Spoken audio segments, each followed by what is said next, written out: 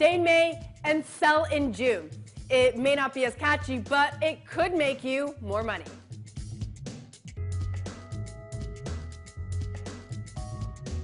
You'll hear it about a million times over the next few weeks. Sell in May and go away.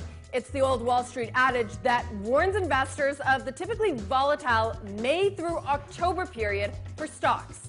But if history is any guide, it could pay off to wait a little longer and come back a little earlier. Stocks have actually gained ground 60% of the time from May 1st through October 31st since 1996.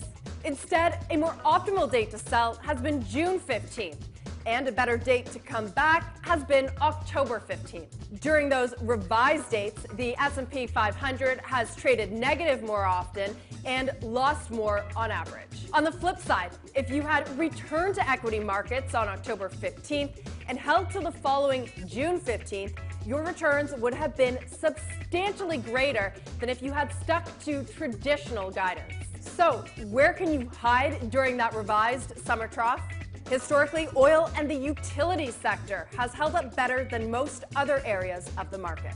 Individual stocks with the best records during this period include Apple and Monster Beverage.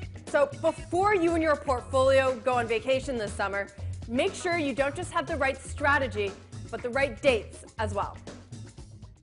Hey CNBC fans, thanks for checking out our YouTube channel. Here you're going to find videos packed with all of the information that you need to be smarter about your finances. You can subscribe by clicking right here and click on all the videos around me or the eye right here to watch the latest from CNBC. Thanks for watching.